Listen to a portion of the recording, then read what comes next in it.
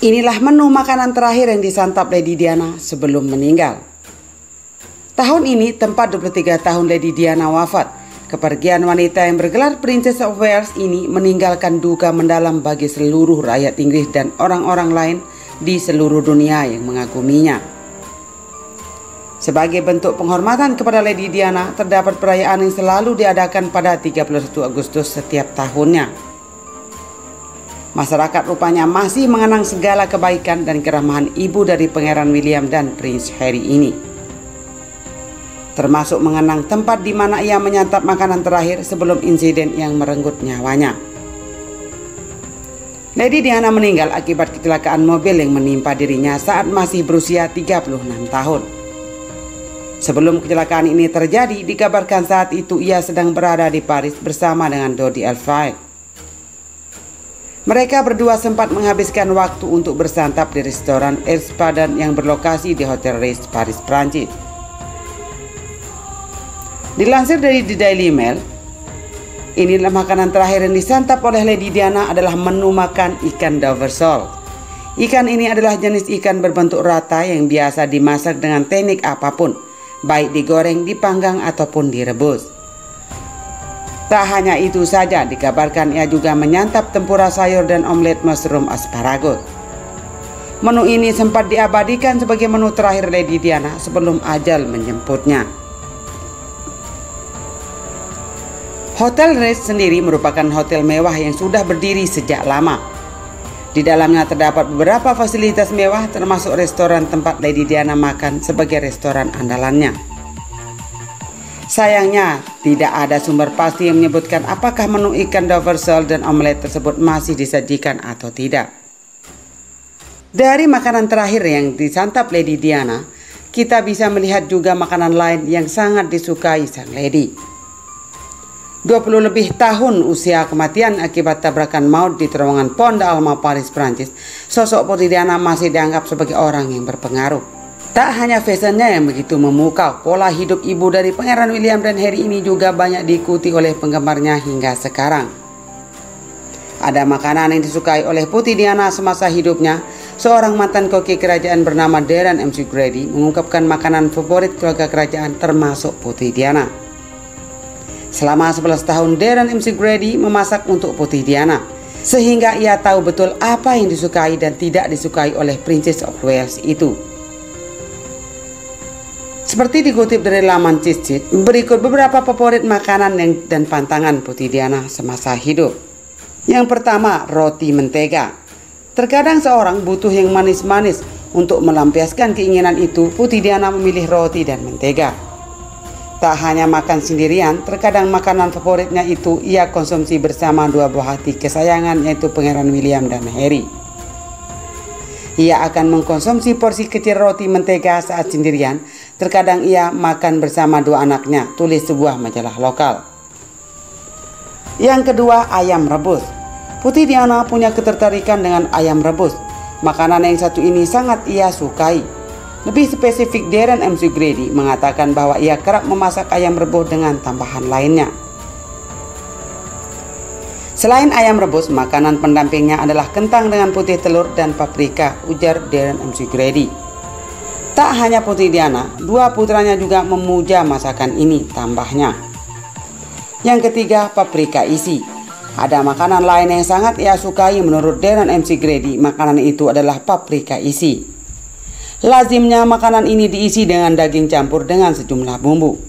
Lalu adonan ini akan dimasukkan ke dalam paprika yang telah dibuang isinya apalagi ditambah dengan keju meleleh dapat menambah cita rasa. Selanjutnya, tidak suka daging merah. Jika sebelumnya adalah makanan kesukaan Putih Diana, kali ini yang dibahas adalah makanan pantangan dari Princess of Wales. Ia paling tidak suka daging panggang yang masih merah. Satu momen ia pernah menghadiri makan malam bersama Clint Eastwood karena ia tidak bisa memakan daging yang belum terlalu matang, ia langsung meminta penggantinya yaitu daging domba panggang yang jauh lebih matang. Selanjutnya tidak suka kerang. Bukan rahasia umum jika banyak anggota kerajaan Inggris yang menghindari mak makan kerang, kepiting, dan lainnya. Terlebih Putri Diana juga tidak menyukai makanan ini, ada alasan mengapa pihak kerajaan tidak mengkonsumsi kerang. Sebab mereka memilih untuk terhindar dari keracunan makanan. Namun berbeda dengan makanan kesukaan Ratu Elizabeth II, orang nomor satu di Inggris ini. Pernahkah kita membayangkan kira-kira hidangan seperti apa yang sering disantap oleh bangsawan kerajaan seperti Ratu Elizabeth II? Jika kita menganggap bahwa makanan favorit mereka akan mewah sekelas steak atau escargot, maka kita salah besar. Mungkin jenis hidangan tersebut hampir setiap hari menghiasi menu santap anggota keluarga kerajaan. Namun siapa yang nyangka jika orang nomor satu sebritania Raya ini sangat menyukai coklat biskuit cake atau kue coklat berlapis biskuit. Berdasarkan penuturan mantan chef pribadi Ratu Elizabeth II, Darren MC Grady, nenek dari Pangeran William dan Harry ini tak bisa bepergian tanpa kue favoritnya tersebut. Kue biskuit coklat merupakan makanan penutup yang jauh dari kata makanan mewah. Membuatnya pun terbilang mudah karena hanya terbuat dari coklat dan mentega yang dilelehkan lalu dicampur dengan potongan biskuit, buah dan kacang-kacangan yang kemudian diaduk menjadi satu dan dicetak di sebuah loyang bulat. Butuh waktu beberapa jam sampai kue akhirnya mengeras dan baru bisa dipotong menjadi beberapa bagian. MC Grady bahkan mengungkapkan jika sang ratu kerap meminta chef pribadinya untuk tiba-tiba membuatkan kue tersebut saat dirinya sedang berkeliling Buckingham Palace. Lebih lanjut MC Grady bercerita bahwa Ratu Elizabeth II senantiasa membagikan kue favoritnya kepada para staf kerajaan. Makanan penutup tersebut harus selalu ada dalam daftar menu hidangan yang akan disajikan kepada sang ratu.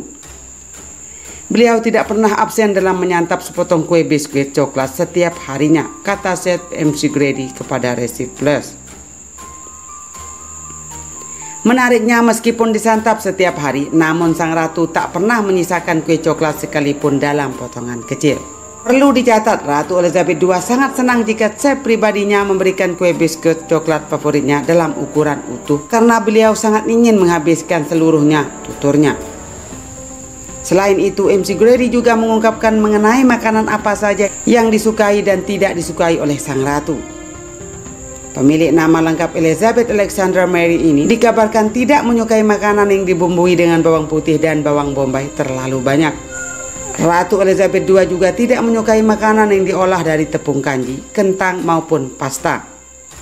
Bahkan menurut MC Grady, saat duta besar Italia dan Irlandia berkunjung ke Buckingham Palace, tidak ditemukan menu pasta satupun yang disajikan untuk kedua duta besar tersebut. Penuturan MC Grady ini tentu menjawab rasa penasaran netizen yang sering bertanya-tanya mengenai hidangan seperti apa yang biasa dikonsumsi oleh anggota keluarga kerajaan Inggris tersebut. Lalu apa alasan sang ratu sangat membenci makanan yang satu ini yaitu bawang putih? Rasanya hampir setiap orang memiliki makanan masing-masing yang tidak disukainya. Meski memilih-milih makanan bukanlah hal yang baik, namun rasa tidak suka memang berada di luar kendali manusia. Tak peduli siapa pun atau seberapa tinggi status sosial yang kita miliki, kita pasti bisa merasa benci terhadap suatu makanan, seperti yang dirasakan oleh Ratu Elizabeth II. Beberapa waktu lalu, Darren MC Grady, koki pribadi kerajaan Inggris, berbagi sedikit rahasia soal kebiasaan makan anggota keluarga kerajaan. Dari sana terungkap bahwa Ratu Inggris sangat benci terhadap bawang putih. Saking bencinya, Ratu bahkan menjadikan bawang putih sebagai makanan terlarang yang tak boleh ada di dapur kerajaan. Jadi, kita tak akan pernah menemukan atau merasakan adanya bawang putih dalam setiap sajian yang ada di istana. Di Buckingham Palace tak memasak menggunakan bawang putih.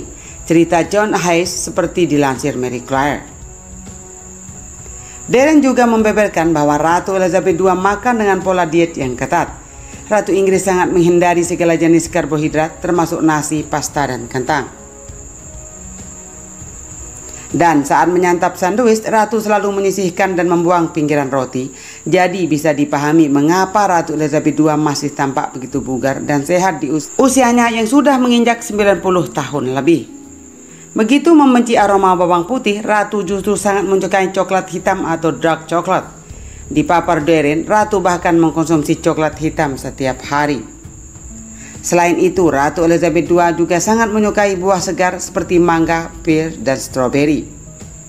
Kontra dengan pola makan sehat yang dijalani sang nenek, Pangeran William dan Harry justru dikabarkan itu menggilai McDonald meski keduanya bisa menyantap burger buatan koki kerajaan. Faktanya mereka tetap lebih memilih McDonald's sebagai menu favorit. Kebiasaan ini sudah berlangsung sejak keduanya masih duduk di bangku sekolah dasar.